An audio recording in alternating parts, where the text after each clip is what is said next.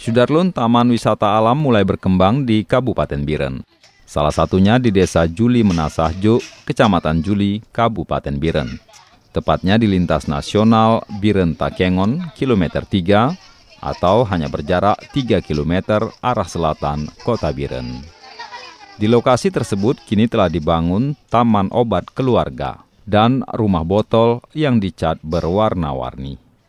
Sehingga menjadi daya tarik warga desa setempat dan sekitarnya untuk berwisata atau berfoto. Gedung rumah botol untuk Toga menghabiskan botol aquanya lebih kurang 2000 botol aqua. Biar kita paparkan di Kabupaten Biren ini biar desa wisata.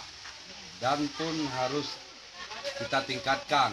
Nanti memang kalau kebetulan ini jadi tempat wisata nanti lokasi sebagian yang di belakang kita ini kita tingkatkan rumah-rumah botol eh, sebanyak-banyak mungkin. Dengan menghabiskan sekitar 2000 botol air mineral bekas, warga desa setempat mampu menyulap tanah kosong menjadi lokasi wisata. Berkat kerjasama warga desa, lokasi wisata desa ini diharapkan dapat menambah pendapatan gampung tersebut. Dari Biren, Ferizal Hasan, Serambi TV.